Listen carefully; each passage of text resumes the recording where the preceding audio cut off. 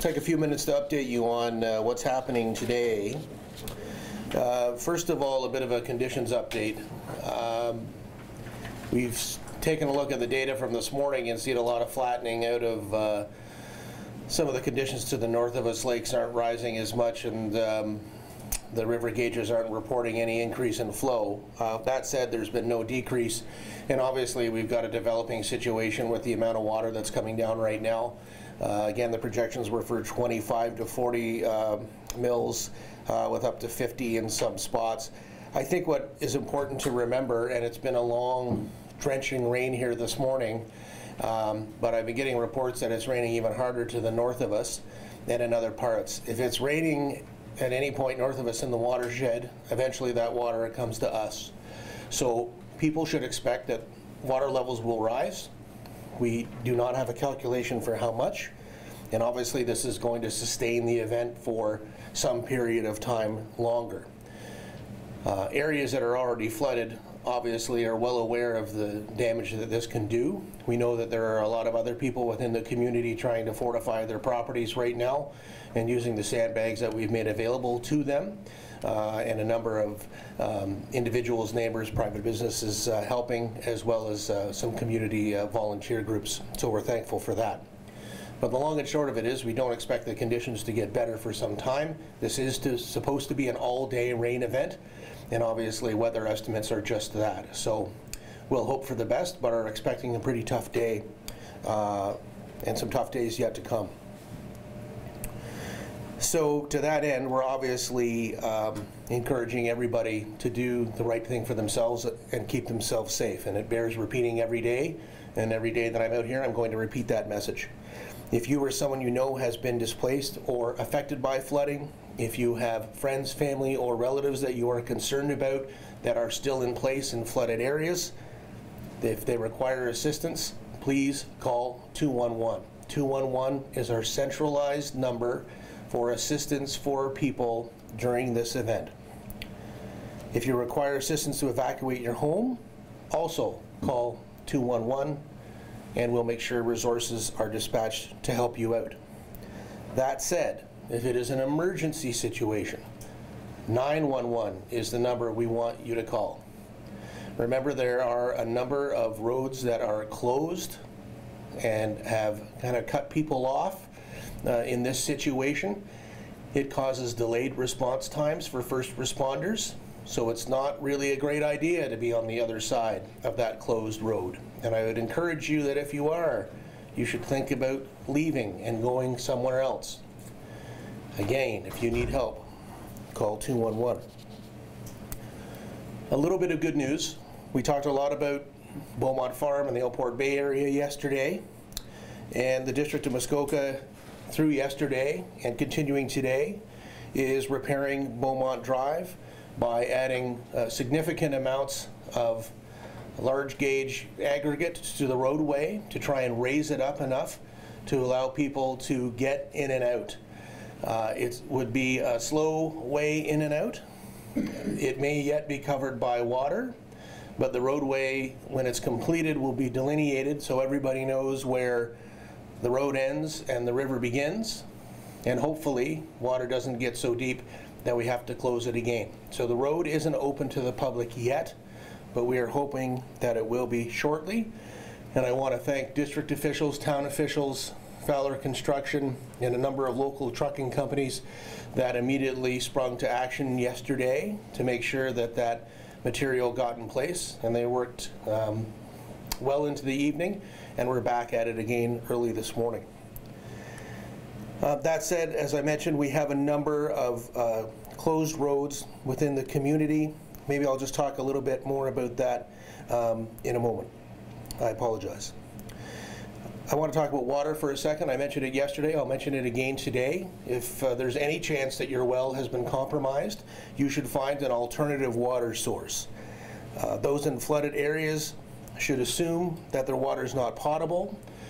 And we have water filling stations at 336 Ecclestone Drive. That's the one that's most easily accessible and close to our urban area. And for those further out in the Beaumont and Alport area, the Kirby's Beach Water Treatment Plant at 1601 Beaumont Drive has drinking water available. We've had discussions with district um, public works staff today that maintain the uh, water and sewer functions in our community, and they assure us that everything is operating normally. And even though the plant is located near the lake, that it should continue to operate normally, and that it is not under any sort of threat.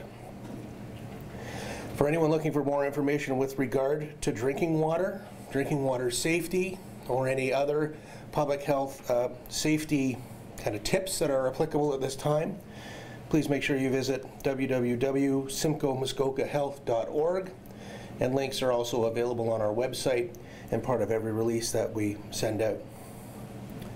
Uh, as mentioned, there's a lot of work going on today with regard to sandbagging of properties, and they are available free of charge, provided by the town of Bracebridge and prepared by Fowler Construction at 1206 Rosewarne Drive for Bracebridge properties have been affected by flooding. There was a little bit of confusion yesterday with regard to hours that these sandbags were available. They are available 24 hours a day, seven days a week. Supplies may wane a little bit over the evening as crews take a bit of a break, but the next day they'll get going again. I think it's my understanding that there's been 2,000, 3,000 bags prepared for today, and the uptake over the last few days has been around 6,000 bags.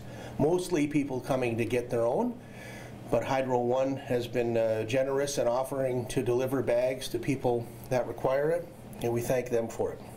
And there have been other people that have been feeding the people that are filling those bags and helping out, and I want to thank them too.